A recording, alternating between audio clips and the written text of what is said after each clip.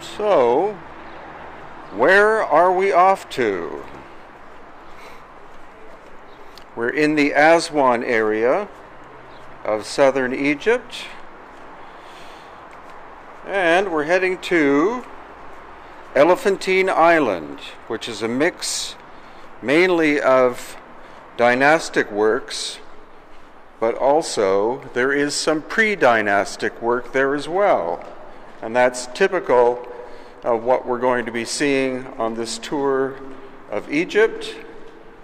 In southern Egypt, it's mainly dynastic works, which we will show you in a whole series of videos.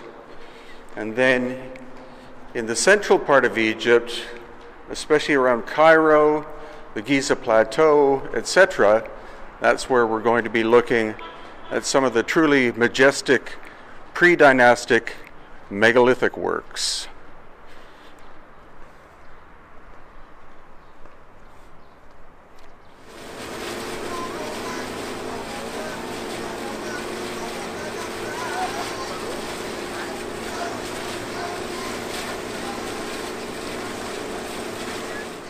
Okay, we're going up through the layers of history here at Elephantine Island.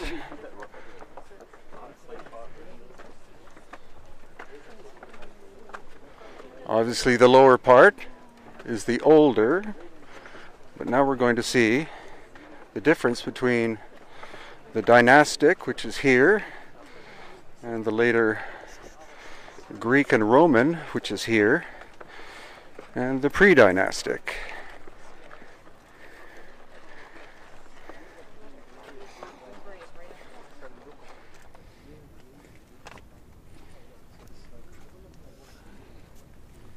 بيقول لك حاجة لزميلك بقى؟